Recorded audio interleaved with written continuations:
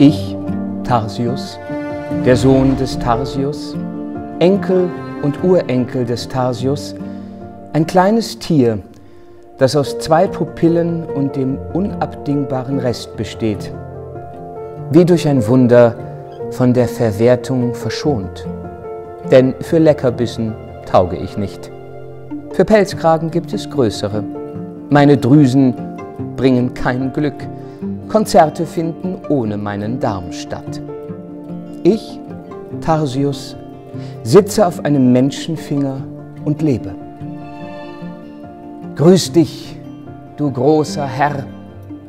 Was gibst du mir dafür, dass du mir gar nichts zu nehmen gezwungen bist?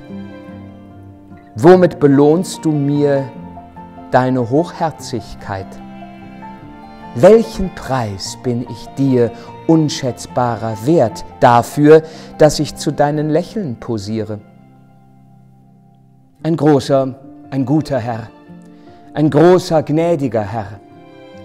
Wer könnte denn das bezeugen, wenn es nicht Tiere gäbe, die keines Todes wert sind? Vielleicht ihr selbst? Aber das, was ihr von euch schon wisst, das reicht für eine schlaflose Nacht von Stern zu Stern. Nur wir, wir wenigen, die nicht vom Fell gezogenen, nicht von den Knochen geschälten, nicht von den Federn gerupften, verschont in den Stacheln, Hülsen, Eckzähnen, Hörnern und was wer wie noch vom findigen Eiweiß besitzt, sind, großer Herr, dein Traum, der dich für eine kurze Weile freispricht. Ich, Tarsius, Vater und Großvater des Tarsius, ein kleines Tier, beinahe ein halbes Etwas, das dennoch ein Ganzes ist, nicht weniger als die anderen, so leicht, dass die Zweige sich unter mir heben und längst mich zum Himmel getragen hätten, wenn ich nicht hin und wieder fallen müsste als Stein von den, ach, gerührten Herzen. Ich, Tarsius, weiß, wie sehr man Tarsius sein muss.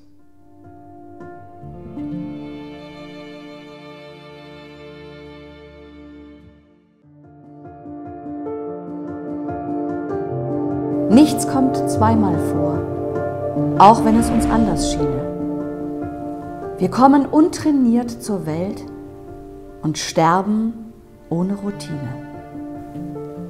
Und wären wir die dümmsten Schüler von allen Pennen, wir werden keinen Winter und Sommer nachsitzen können. Kein Tag wird sich wiederholen, keine Nacht, denn sie entrücken. Es gibt nicht zwei gleiche Küsse, zwei wiederholbare Blicke. Als jemand deinen Namen fallen ließ bei mir gestern, war es mir, als fiel eine Rose herein durchs offene Fenster. Heute sind wir zusammen. Ich sehe zur Wand. Oh nein, Rose? Was ist eine Rose? Ist es eine Blume? Ein Stein? Was mischst du dich, böse Stunde, mit unnützem Angstgestöhn? Du bist, also gehst du vorüber. Du vergehst, also bist du schön.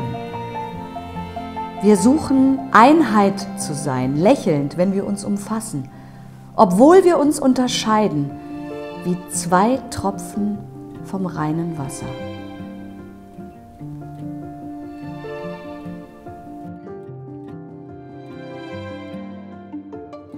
Im besten Fall wirst du mein Gedicht aufmerksam gelesen, kommentiert und in Erinnerung behalten.